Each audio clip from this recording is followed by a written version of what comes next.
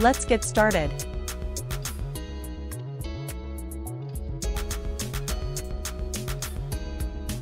Nineteen sixty Amy Grant. Rock singer, songwriter.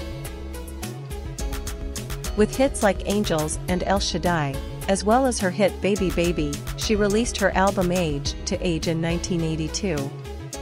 Winner of Best Female Gospel Performance at the Grammys on four occasions between 1983 and 1988.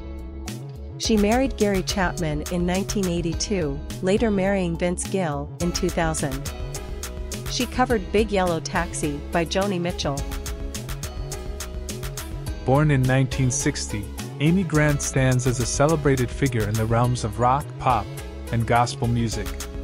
Known for her angelic voice and poignant songwriting, she has left an indelible mark on the music industry. Grant's discography boasts an array of hits that have resonated with audiences across genres. Songs like Angels and El Shaddai not only showcase her vocal prowess but also highlight her ability to infuse spiritual themes into her music. The timeless appeal of her hit, Baby Baby, further attests to Grant's crossover success in the pop music scene. In 1982, Amy Grant released the album Age to Age, a pivotal work that contributed to her rise to prominence. Her ability to seamlessly blend elements of rock, pop, and gospel has been a defining factor in her enduring career. Grant's achievements extend beyond chart topping singles.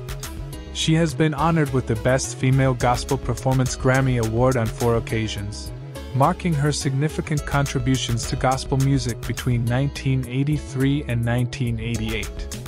Not only has Amy Grant made waves in the music industry, but her personal life has also captured public interest. Her marriage to Gary Chapman in 1982 and later to Vince Gill in 2000 have been notable chapters in her journey. In addition to her original compositions, Amy Grant demonstrated her versatility by covering Joni Mitchell's Big Yellow Taxi, adding her unique touch to a classic. With a career spanning several decades, Amy Grant remains a respected and influential artist, leaving an enduring legacy in the diverse landscape of rock and gospel music.